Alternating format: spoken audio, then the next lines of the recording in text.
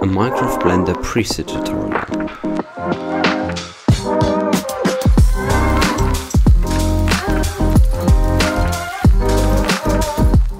First, we need to add the Minecraft rig into Blender. For this, I'm using the Thomas Rig Edit Remastered, which can be also found on my YouTube channel.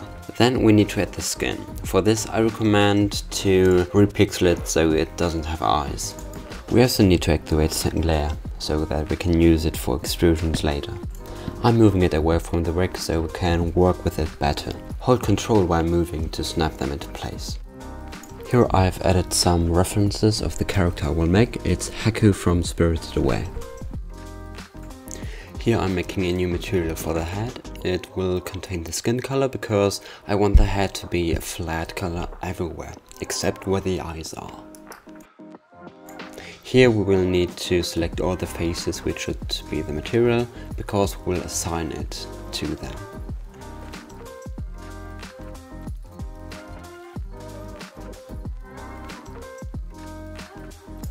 The skin texture looks very pale to me, therefore I will add some more saturation.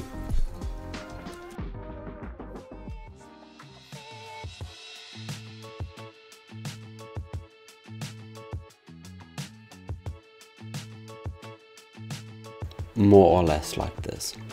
Make sure to not forget changing the eye color. If you want to have more roundish eyes, select the eyes, press hashtag on your keyboard and then change the mean crease. Adding more subdivisions will give you a smoother result. Then I'll do extrusions on the second layer. For that I mark all the faces I want to extrude. Then I press P selection to separate the objects. Then I move it over to the rig and if the second layer is a bit too big then just scale it down so that it fits. When that's done I move it back to the side and now I will extrude from the main body that means I will also select the parts I want to extrude, but this time I first duplicate it with Shift D and then I press P selection to separate the object. Then I will also add mean crease, because if there's no mean crease it will be very roundish and you don't want it. You want it more like a blocky style, therefore you have to set the mean crease to a relatively high value. Then I add a solidify modifier to give it some more depth. I repeat this to the other parts too. I repeated the same process for arms and legs and now it looks like this. We also need to change the eyebrow color. For this we go to the custom UI, material, custom eyebrow color. Now we will make the extrusion of the hair, so we need to remove all skin faces except the hair. We also delete the bottom part of the head. As you can see, the front of the hair is really really flat and I would like to have some more texture or interesting texture there. For this I select all these pixels and then I go to the UV editor and move them around like in this video to an another part of the hair which has more interesting texture.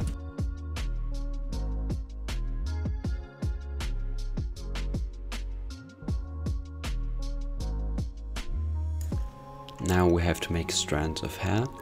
So I will select one strand, I press Alt when clicking, so that I have one line of pixel like you can see in the video.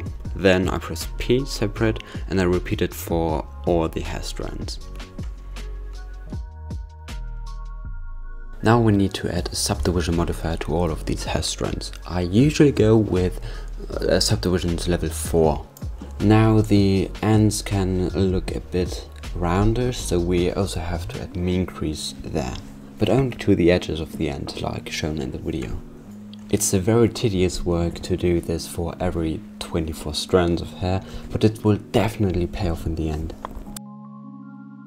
For the hair strands coming from the back to the front, we also need to add a mean crease to the top edge. When that's done, I add a solidify modifier for every hair strand and to make it more interesting, I will use different uh, thicknesses. So we have some variations there. And then it could look like this. Now the really fun part begins. We have to rotate, move and deform and edit the mesh of the individual hair strands and for this I recommend to go in the front view by pressing the button 1 on the numpad.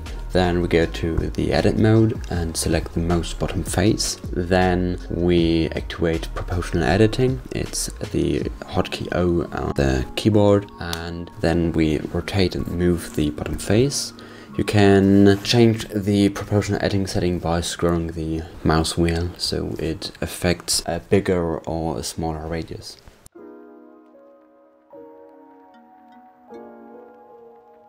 In this little time lapse you will see how I made the first step of deforming the hair. Later on we will deform it even more. In this step it sometimes appears to me that I made a wrong decision about how thick a hair strand should be.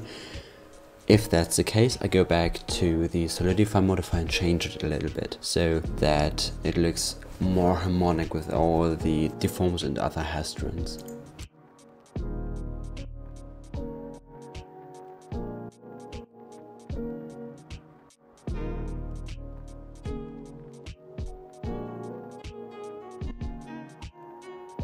Sometimes you want to make a pixel of face wider, therefore you just scale the face on the corresponding axis.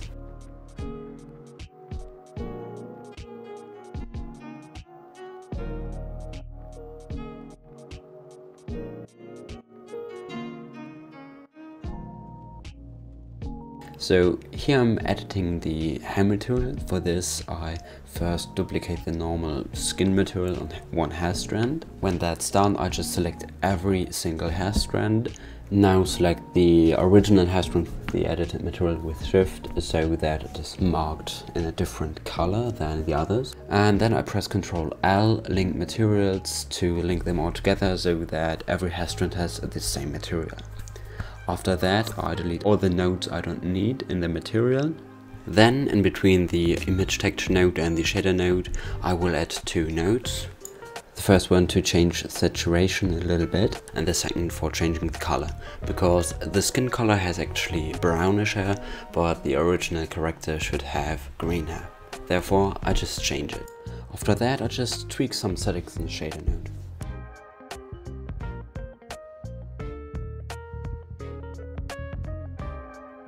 I think you're now questioning yourself, why do I remake the hair now? I mean, it looked quite fine in the first try, but I think I can do better, so I just repeated the whole process and I must say I like the end result even better than before. But yeah, I have to say, I have to admit, I spent another one and a half hour to do this. So as you can see, I literally spent multiple hours on it and Making a preset does take a lot of time, especially if you want to have fancy hair or fancy features. As you can see, making a preset can take a lot of time. For this I spent like 2 or 3 hours, which is not that much, but it just is already a lot of time.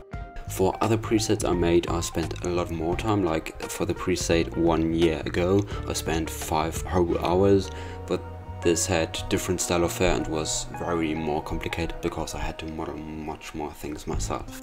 But spending a lot of time on presets is pretty usual and it should be done carefully because it is really worth it in the long run. Now following is just a time lapse of me making the hair again.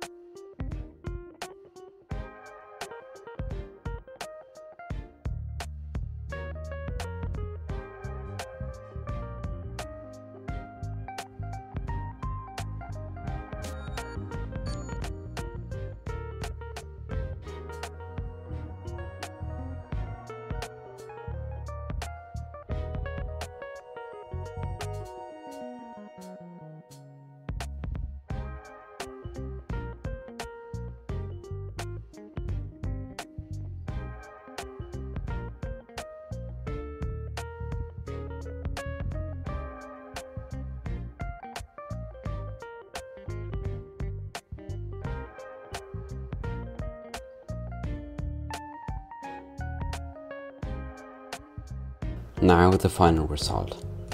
If this video was helpful to you, please consider leaving a like and leaving a subscription to my channel and maybe even comment on the video. See you next time.